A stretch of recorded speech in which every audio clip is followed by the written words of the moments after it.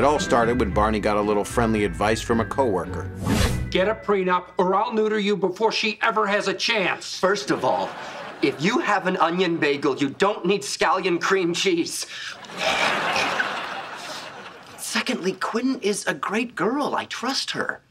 Oh, Darlene was a great girl. I trusted her, and then she took everything my house, my car, my dog tugboat. I even lost out with the kids. Full custody. I got full custody of those kids. Your kids are horrible. The worst. Barney, I watched as Darlene cut everything good out of my life like a deranged surgeon hacking out organs, and that's not a metaphor. She got one of my kidneys. That's her ringtone. I have nothing left to give you, Darlene.